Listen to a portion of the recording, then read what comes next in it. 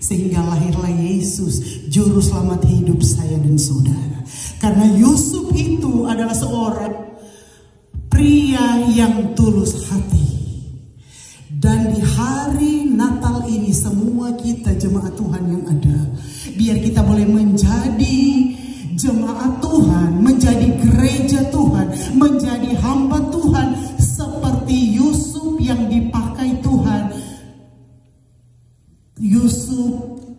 punya hati yang tulus.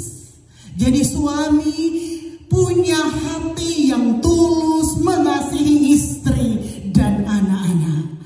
Menjadi istri punya hati yang tulus mengasihi suami dan anak-anak menjadi suami yang mengasihi istri dan anak-anak karena punya hati yang tulus.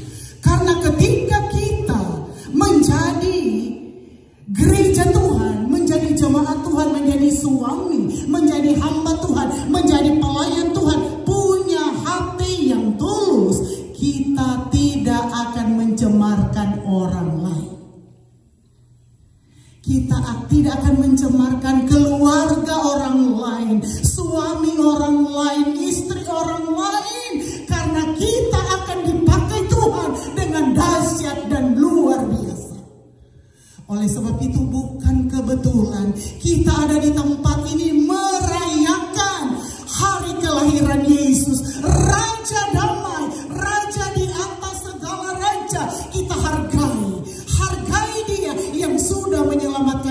saya dan saudara. Dan dia memakai manusia yang ada di dunia ini yaitu Yusuf dan Maria. Yusuf dan Maria dipakai Tuhan dengan luar biasa. Yusuf seorang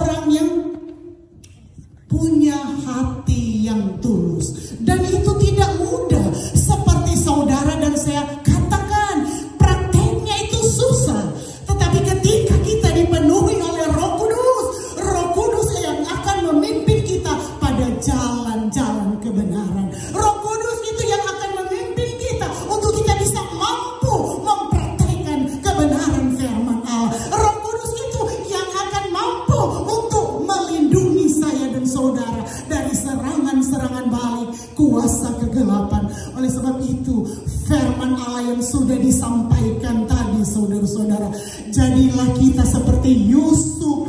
Yusuf di akhir zaman kepada siapa pun juga saudara-saudara. Kalau kita punya hati yang tulus tuh, Tuhan akan bukakan berkat-berkat Allah tercurah, tercurah, tercurah buat saya dan saudara. Dan tidak ada satupun yang akan bisa menghalangi berkat Allah buat saya dan saudara ketika kita menjadi seperti Yusuf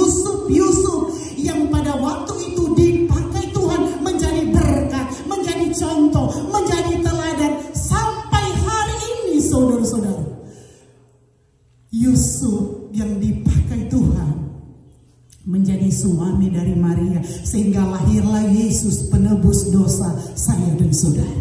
Oleh sebab itu ketika Yesus lahir saudara-saudara, saudara dan saya yang tadinya bersalah, yang tadinya berdosa, yang tadinya tidak berharga menjadi berharga karena penebusan Yesus, karena pengorbanan Yesus buat saya dan saudara. Dan hari ini kita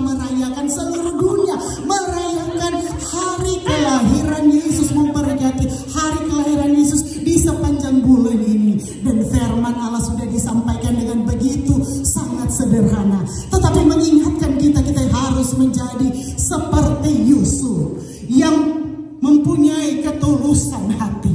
Sehingga saudara-saudara ke mana pun kita pergi dan berada kita menjadi berkat, menjadi garam, menjadi teladan untuk hormat kemuliaan nama Tuhan. Dan kita tidak akan mencemarkan orang lain, keluarga orang lain, suami orang lain, istri orang lain atau siapa pun juga. Karena Tuhan punya rencana buat saya dan saudara untuk jadi berkat, untuk